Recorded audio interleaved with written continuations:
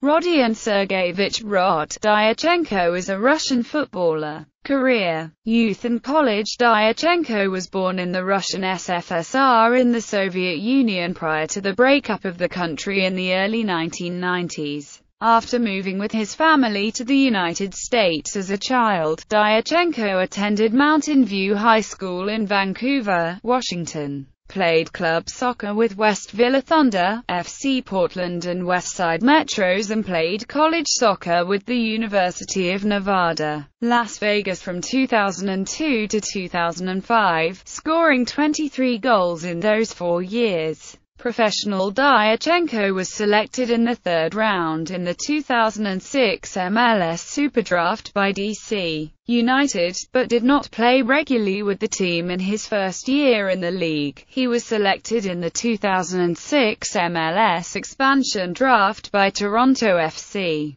but was reacquired by DC in February 2007 in a trade for a first-round pick in the 2008 MLS Superdraft, after he ran into difficulty obtaining permission to work in Canada. Dyachenko holds a U.S. green card, allowing him to be counted as an American domestic player under MLS roster rules, but no passport from any country. Dyachenko was released by DC in January 2009 after playing 41 games and scoring one goal for the team. On February 26, 2009, the Minnesota Thunder announced the signing of Dyachenko to a two-year contract. He played 27 games and scored two goals for the team in his debut season, but along with the rest of the Minnesota Thunder team had his contract terminated in December 2009. In November 2009 Dyachenko signed to play professional indoor soccer for Baltimore Blast in the Major Indoor Soccer League during the 2009-10